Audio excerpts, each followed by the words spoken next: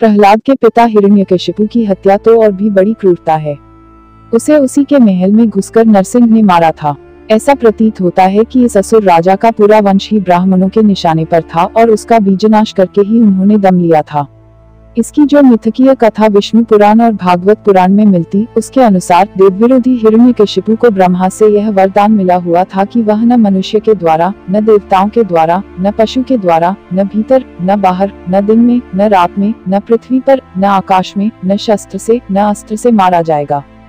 अपनी मृत्यु से निश्चिंत होकर उसने पृथ्वी और स्वर्ग में उत्पात मचाना शुरू कर दिया।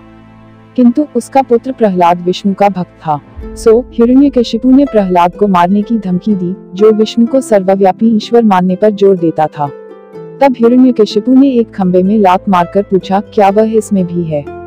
अचानक उसी समय खम्बा फाड़कर शेर जैसा मनुष्य, नरसिंह, प्रकट हुआ।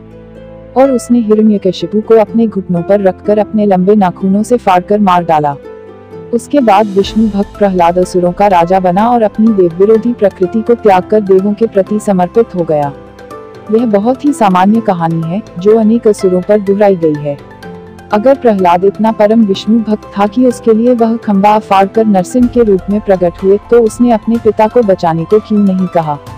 उसने अपने पिता की हत्या कैसे बर्दाश्त कर ली? यह कहानी यह साबित करने की कोशिश है कि प्रहलाद ने अपनी ब्राह्मण भक्ति में अपने असुर धर्म, अपनी असुर संस्कृति और अपने पिता तक को कुर्बान कर दिया। हकीकत यह है कि हिरण्यकशिपु ने बलि और विरोचन की तरह ब्राह्मणों के आगे घुटने नहीं टेके थे और उसने अंत तक असुरों के हित में संघर्ष और युद्ध किया था। जब उसके पुत्र प्रहलाद को ब्राह्मणों ने राज्य का लालच देकर अपने ब्राह्मण राष्ट्रवाद में शामिल कर लिया था तो भी हिरण्यकशिपु ने हथियार नहीं डाले थे। किंतु यही विष्णु भक्ति प्रहलाद के भी पतन का कारण बनी थी। ब्राह्मण भक्ति की जो भूमिका विभीषण ने निभाई थी, वही प्रहलाद ने निभाई थी। महात्मा फुले ने यह भी लिखा है कि हिरण्यकशिपु की हत्या के बाद नरसिंह सभी द्विजों को साथ लेकर अपने मुल्क भाग गया। जब क्षत्रियों को पता चला तो वे आर्यों को द्विज कहना छोड़कर विप्रिय अप्रिय धोखेबाज दुष्ट कहना शुरू कर दिया। बाद में इसी विप्रिय शब्द से उनका नाम विप्र पड़ा। हिरण्यकशिपु के प्रकरण में अभी होलिका का प्रवेश होना बाकी है।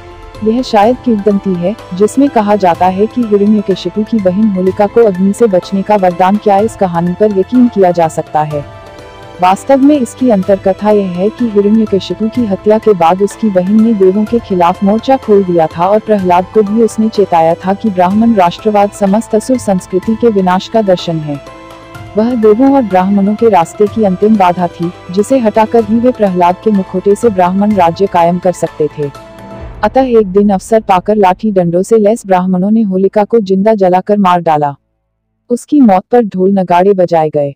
आज उसी तर्ज पर हिंदू हर वर्ष होलिका के रूप में होली जलाकर ब्राह्मणवाद की विजय का जश्न मनाते हैं।